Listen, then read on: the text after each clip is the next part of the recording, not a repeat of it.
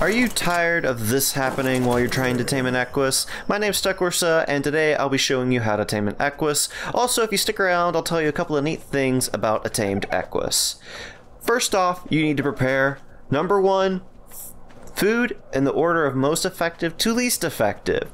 Troodon egg kibble, rockarrot, all other vegetables, sweet vegetable cake, Mejoberries, and then all other berries. I'm using Mejoberries because of the tame rate on my server is high, but I would recommend that you use rockarrots or Troodon egg kibble if you can get your hands on it. Like other passive tames, place the food in the last slot of your hotbar. When you approach the Equus, press E to feed, immediately press E again to ride, and prepare to press E every time the Equus is about to kick you off until you're done taming. There's an icon in the bottom right corner that tells you the effectiveness and the taming percentage.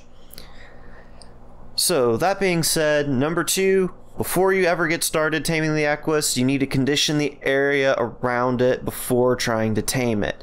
I'm on a beach that I have cleared out of carnivores that's also surrounded on three sides with water and a cliff behind it. So the Equus that I'm trying to tame can't go anywhere. But I do recommend you at the very least clear the area of carnivores. And if you're taming on your own, you might be a good idea to build a wall around the area you're trying to tame the Equus in. A wooden wall will keep most smaller carnivores away, but if you're worried about larger ones, you might want to invest in stone walls. Otherwise, you can use tribe mates or tame dinos to protect you while you're trying to tame the Equus. Another thing you might consider is having a pre-built taming pin and dropping in the Equus you want to tame with a Quetzal or a Wyvern. Both of those are able to pick up Equus.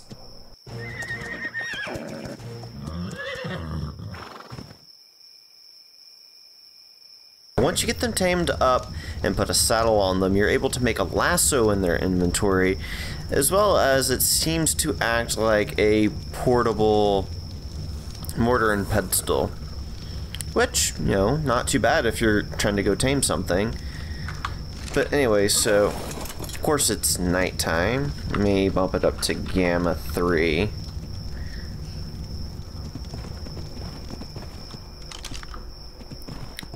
So when you pull out your lasso, you're able to lasso smaller dinos. Let's see.